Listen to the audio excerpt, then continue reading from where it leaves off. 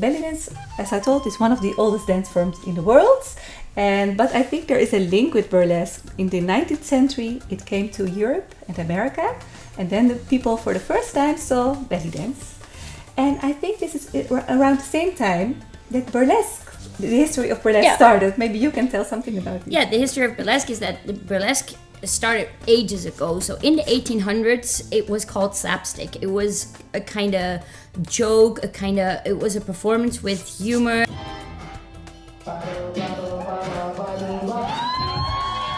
What happened when belly dance came from the eastern countries to Europe? What happened exactly? Yes. Well, the, the people in Europe and in America who first saw the belly dancers, they were really excited because they never saw these movements, these free movements of the body. Okay. And they can all watch this and they, they thought it was really also a little bit vulgar for the time. Okay. And also they really wanted to know everything about it. So they really were a hype.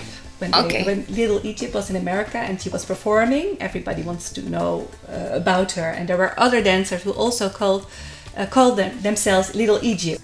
Okay, that's very exciting. Where could you see belly dance? Was it like in circuses or where could you see belly dance? Well, first of all, belly dance is a really uh, the, the form is is big, and there are many um, things you have to know about belly because belly dance is not only a theater performance art because it's Okay. also a social uh, dance form. So Okay. you can also dance for the fun together to make connection.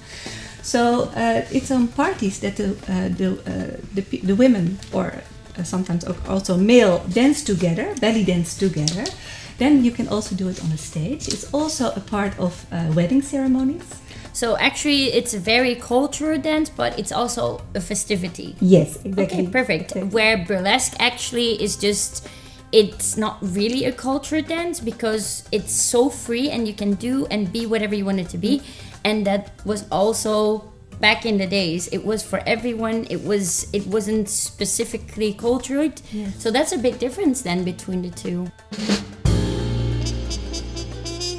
the essential thing in burlesque is the tease. Yes. That's our technique, the tease. So sometimes you will have the most beautiful dress on and you can only take your gloves off. Yes. You you are your own decision maker. So you are the one who can make the decision what am I going to take off? And if you choose to just take your gloves off, you have to have that tease and you have to have the ability to stretch it out for 5 minutes to just use a glove. Yes. So why do you guys keep it on?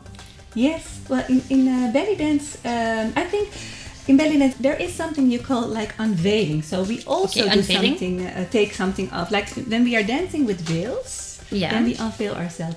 But we never uh, will uh, take our bra off or our belt off. No, this of is course. not part of the dance. Uh, not the intent. Maybe another No. intent. Yeah, a- another intention. Yes. Um, belly dance is um, an interpretation of the music. And Okay. you, uh, it's a manifestation, an, um, a physical and emotional manifestation Okay. of the music. Yeah. So this is also a difference between burlesque because it can also be, of Yeah. course, the same. But So this is Yeah. also our third Yeah. topic. We want to talk about the intention, intentions of burlesque and belly dance because we both have very different intentions on why we do what we do. And as you said, your intention is mostly it comes from the music, right? yes, exactly. Yeah. Yes, and uh, because in burlesque they, uh, you tell a story. Yeah. I really like this about burlesque, telling a story. I think we can also belly dancers can learn this from burlesque, telling Yeah. a story. Um, but in belly dance, we are more interpreting the music with our body, and yeah, we use the belly dance technique to bring this to a to a whole. Okay. Yes. To make it complete. Yeah. To make it complete. Yes. And in burlesque, of course, um, you guys have a very, very spec- specific technique. It is uh, all about how to isolate, how to move your body, and especially the music. And in burlesque, it's very different because in burlesque, you can do whatever you want, but it also depends on the performer that you are because. Um, music is really really important because if you choose to be if you or not choose to be if you are a neo performer you would use different music than than you would if you're a classic performer because if you're if you're a classic performer you can use like music from the 30s or the 50s it also depends if you're a flapper dancer it depends if you're a, a more pin-up style So for us, music is also really important, but it also depends on the style of burlesque that you choose to yes, do. And this is similar, by the way, also in belly dance because Okay. we also have many different styles. Okay. And every different style has other music. So this is also a similarity. Can you tell me what different styles you guys have? Because I talked about the neo burlesque, the bump and grind, the classic. But what do you- what what is belly dance like? The difference? To tell you the truth, belly dance is possible on all kinds of music. Okay. But uh, we mostly use Middle Eastern and uh, North African uh, music. uh, Mm-hmm. But uh, there are also fusions because there Okay. is also like the tribal fusion belly dance, and they also use all kinds of technique, gothic, everything. So that's called the tribal fusion then. Yes, so you've got traditional Yes. and you've got tribal fusion. Yes.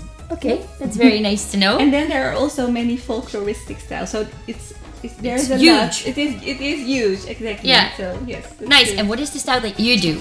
I do the um, the cabaret style.